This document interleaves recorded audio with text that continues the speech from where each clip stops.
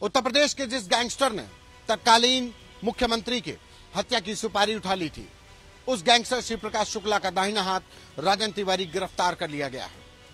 नमस्कार, यूपी तक में आपका स्वागत है। मैं हूँ संतोष कुमार और आज हम बात उस माफिया डॉन राजन तिवारी की करेंगे, जिसका नाम हमेशा शिव प्रकाश शुक्ला के दाहिने हाथ के तौर पर लिया जाता रहा, जिसके 60 से अधिक मुकदमों में एनबीडब्ल्यू जारी हुआ और 2005 से कभी वो कोर्ट में पेश नहीं हुआ। राजन तिवारी को गोरखपुर पुलिस और बिहार पुलिस की मदद से गिरफ़्तार कर लिया गया है। पच्चीस हज़ार का इनामी राजन तिवारी के खिलाफ 60 से अधिक मुकदमों में एनबीडब्ल्यू जारी था।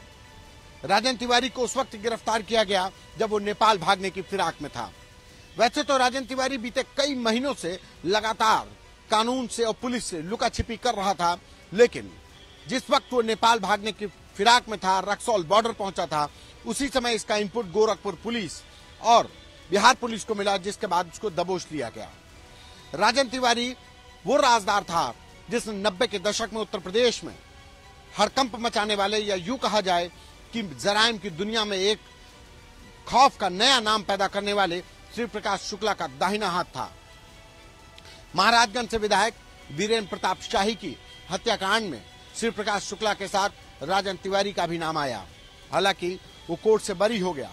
लेकिन राजन तिवारी, एक बाहुबली और पूर्वांचल में एक ऐसा नाम हो गया जिसने समय रहते अपने आप को अपराध से सफ़ेद पोष नेता बनाने में भी कामयाबी हासिल की और बिहार में गोविंदगंज सीट से दो बार विधायक भी चुना गया।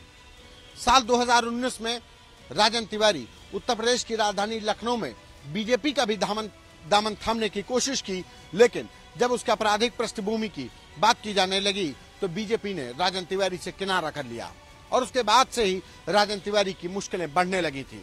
राजन तिवारी कभी उत्तर प्रदेश में अपने खौफ से डंका बजाने वाला, वो बिहार चला गया, बिहार में पलायन कर ले गया और बिहार में ही उसने अपनी फिरौती अपहरण जैसी तमाम घटनाओं में उसका नाम आया, मुकदमे दर्ज हुए। बताया जा रहा है कि अकेले गोरखपुर में राजन तिवारी पर 30 से अधिक मुकदमे दर्ज हैं। फ़िलहाल गोरखपुर पुलिस ने राजन तिवारी को गिरफ़्तार कर लिया है। राजन तिवारी से। अब गोरखपुर पुलिस पूछताछ भी करेगी। तमाम ऐसे मामले हैं, जिनके बारे में राज, राजन तिवारी ही जानता है।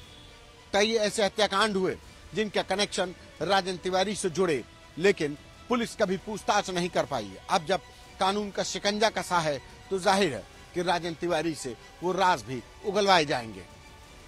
यूपी तक में दीजिए मुझे इजाज़त। नमस्कार।